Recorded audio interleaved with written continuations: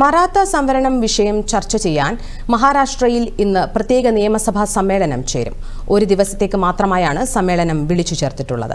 സമ്മേളനത്തിൽ റിപ്പോർട്ട് അവതരിപ്പിച്ച ശേഷം നിയമവ്യവസ്ഥകൾക്ക് അനുസൃതമായി മറാത്ത വിഭാഗക്കാർക്ക് സംവരണം നൽകുമെന്ന് മഹാരാഷ്ട്ര മുഖ്യമന്ത്രി ഏക്നാഥ് ഷിൻഡെ പറഞ്ഞു. പ്രതിവാര മന്ത്രിസഭാ യോഗമാണ് സമ്മേളനം നടത്താൻ തീരുമാനിച്ചത്.